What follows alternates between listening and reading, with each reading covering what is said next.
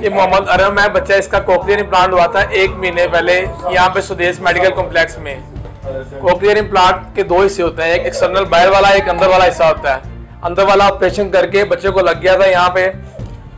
उसके अंदर लग गया, इसका जहम भी ठीक हो गया। अब ये बाहर वाला हिस्सा है, ये इसको लगाना है, जिससे आवाज़ अंदर वाले हिस्से में वाया मैग्नेटिक फ़ील्ड के जाएगी। और अंदर वाले कान के तीन हिस्से होते हैं, अंदर वाले हिस्से में सर्जरी होगी है इसकी। अब बाहर से आवाज़ अंदर जाएगी प्रोसेसर के थ्रू अब हम इसको ऑन करेंगे। ऑन करने से पहले मैं इसका टेस्ट करूँगा चेक करूँगा मुख्तफ आवाज़ों पे किस आवाज़ पे सुन रहा है, कितनी आवाज़ ऊँची इसको चाहिए। फिर इसको डिवाइस को हम ऑन करेंगे। और पहले फिर इसका अजान से आवाज़ देंगे, पहली आवाज़।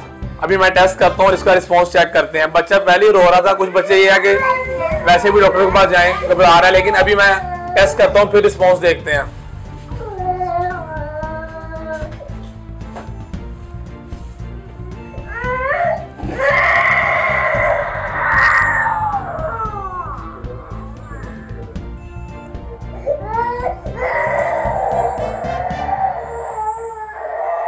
पहले आवाज़ कम दे रहे हैं आहिस्ता आहिस्ता आवाज़ बढ़ा रहे हैं।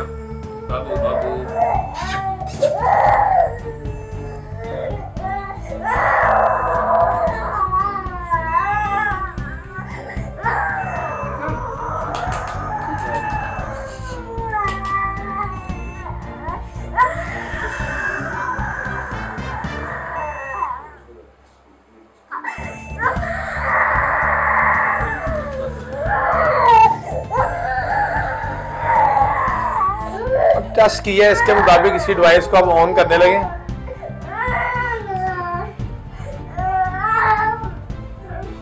ऑन करके इसको सबसे पहली आवाज़ अजान की देते हैं, आप आगे उतर आ जाए अजान की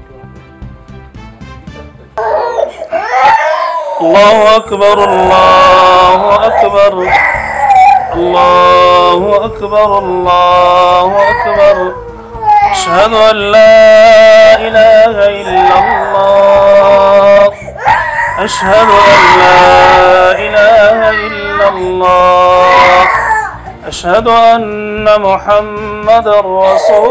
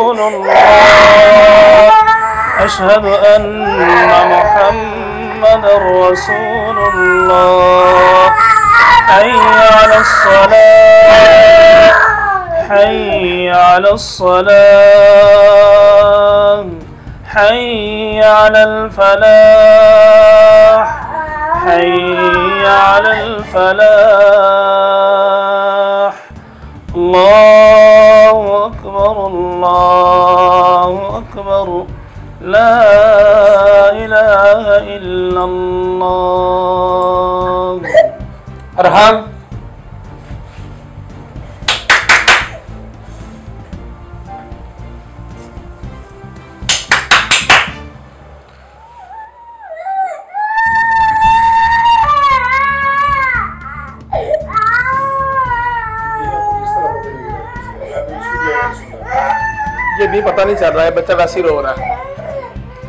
बच्चे बताते हैं, इसका तो मैंने यहाँ से चेक कर लिया ना, जो भी है। बच्चा रिस्पॉन्स बताता है, जब कुछ बच्चे नहीं भी बताए, फिर हम यहाँ से चेक कर लेते हैं। बाकी जो बच्चे हैं, दस बच्चे बता रहे थे रिस्पॉन्स जब आ रहा था। अजान की आवाज़ तो जारी वैसे हमने दी है, बाकी हम दूसरी तारीख अरब जाके नाम देखें, क्योंकि अभी तो उनको नफ्सों की पहचान ही नहीं है। इसको अपने नाम की भी पहचान नहीं है। पहला दिन है हाँ अभी तो अभी, पहला दिन